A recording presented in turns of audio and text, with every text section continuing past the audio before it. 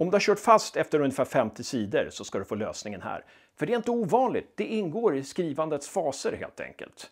Men innan vi kör igång, ta och prenumerera så missar du inte nästa avsnitt i serien och klicka på länken här nere om du vill komma åt alla andra avsnitt också. Nu, romanskrivandets svåra faser.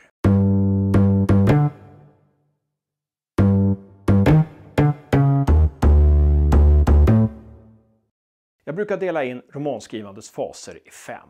Och det är två av de här faserna som det nästan alltid blir problem där författare kör fast. Det brukar börja bra, första fasen går bra, man känner sig som författare, jag är kreativ, jag skriver det jag vill skriva, det ena ger det andra, det här är originellt. Men sen, efter 50, 60, 70 sidor så stöter man ofta på problem. Det känns inte som rätt projekt, det känns som plagiat, det känns tråkigt. Varför skriver jag det här? Det här är inte den roman jag vill skriva. Och efter att jag handlat professionellt skrivande 20 år så vet jag författare som fortfarande ännu inte har skrivit sin första roman för att de just körde fast efter första fasen och inte har kunnat gå vidare.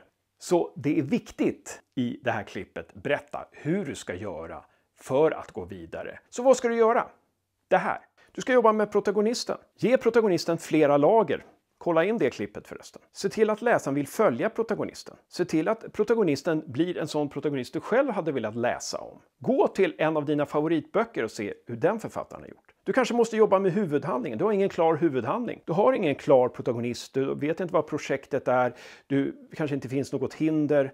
Och du måste lära dig jobba med manus i små steg, alltså med scener. Och varför inte förändra något? Ta bort en karaktär, lägg till en karaktär och ta reda på vilka slags scener du skriver bäst. Det finns också som ett klipp i den här serien. Inventera också vilka scener och berättelser du dras till. Och kanske skrapa fram romanen steg för steg, göra en aktstruktur.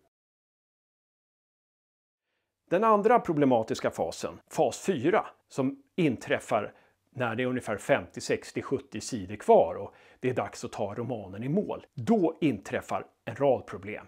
Vart ska jag? Hur ska jag liksom få knorren? Vad har jag skrivit för roman? Blir det här någonting? Och det är naturligt att tänka så i och med att slutet faktiskt definierar hela din roman innan. Men hur ska du kunna lösa det här då? Hur ska du kunna ta din roman i mål? Ja, ett smart knep är att gå till romaner som du själv tycker om slut som du själv gillar. Det kan vara filmer också, det kan vara eh, tv-serier, det kan vara serietidningar. Slut som du själv gillar helt enkelt.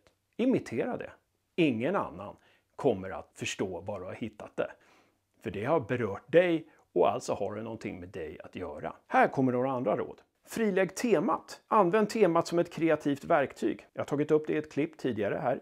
Gör om den aktstruktur du la från början. Ryck upp det slut du hade förut med rötterna. Alltså, du kan göra vad du vill. Pröva olika slut. Och kanske lägga in en till vändpunkt. Och skrapa fram romanens slut steg för steg. Ha inte för bråttom.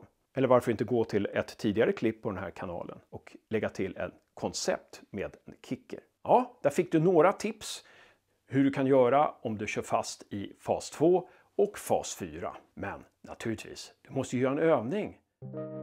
Låt säga att en författare har skrivit 50 sidor på sin roman, men kommer inte vidare. Se om du kan hjälpa författaren. Hur skulle en fortsättning på den här romanen kunna skissas? Protagonisten är på jobbet, blir uppsagd. Protagonisten känner hat gentemot sin chef. Protagonisten går till mamma och frågar om protagonisten kan låna pengar av sin mamma. Mamman säger nej.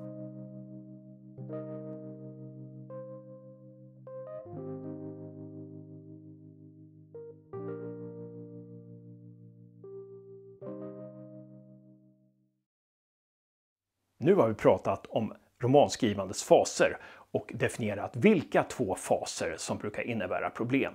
Och du har fått en rad tips hur du kan göra för att komma vidare om du fastnar. Lycka till med romanen!